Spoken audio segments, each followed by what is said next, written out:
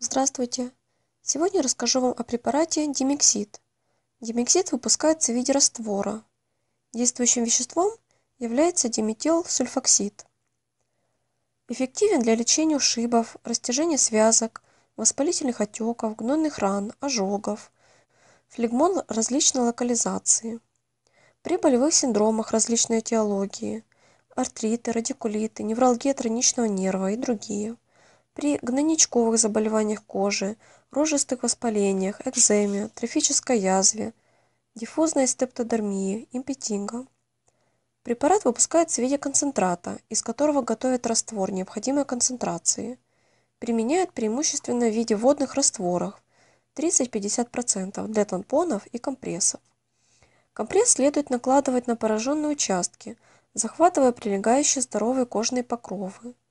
При лечении рожистого воспаления и трофических язвах препарат применяют в виде 30-50% водного раствора по 50-100 мл 2-3 раза в сутки. При экземе, диффузных стептодермиях рекомендуются компрессы с 40-30% раствором димексида.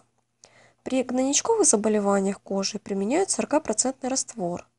Для местного обезболивания рекомендуют 25-50% раствор препарата для компрессов по 100-150 мл 2-3 раза в сутки.